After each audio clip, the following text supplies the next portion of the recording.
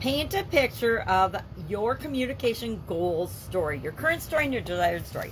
Sharon Horne-Ellstrom here with an awesome picture that my granddaughter and I painted when she was about four, my oldest granddaughter. And we're talking about the goals process. We're, we're launching into the goals process. We do this at the end of each month as we're going through this year's challenge. And this year's challenge, this is to get your goals annual challenge. And so we created our own goals process in January. This is it. It's a seven step process. And I'm kind of creating my graphic as I go along finally as we're to the last few months of the life framework. Uh, in communication goals today, we want to create and talk about our current story versus our desired story. That's how we figure out what the gap is that we're filling where, where we are to where we want to be with respect to our goal and objective.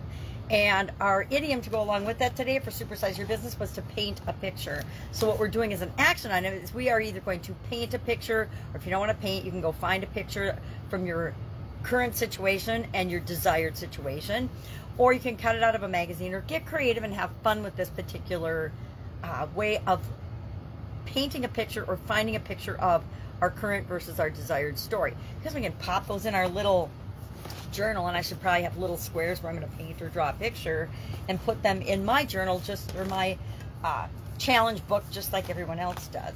We talked about paint a picture and why and how we want to do that to build and grow our business. The truth is, if we as the owner and the leader of that business or that organization, might be a family, might be in a nonprofit organization, might be our business, whatever it is, as a leader, it's our job to create that vision, and we can create it with other people's input, but we have to be the driver of the vision of where the organization's going, where we want it to go. You know, usually every single day. As in my different businesses, I think that I have a conversation about the vision and where we're going and why we're going there every single day. And, and I do the same thing in my family. What's going on in the family? what's working, what's not working, where are we going? Because it doesn't matter what is or isn't going on. If we all share the vision of where we're going, we're bound to get there. So that's my topics for today. Friday in my neck of the woods. Busy day today. Jeez, every day. It seems like summer is so busy, but I like being busy, so it works for me.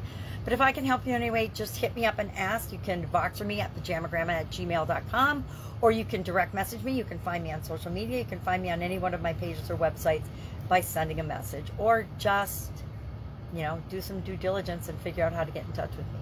It's not that hard. I'm, I'm like pretty much everywhere. All right. If I can help you, ask. Otherwise, have an amazing day. Paint a picture of where you want to be and where you want to go. And I guarantee that that will help you get there faster. All right. Have a great day. And I'll, of course, be with you tomorrow. Bye.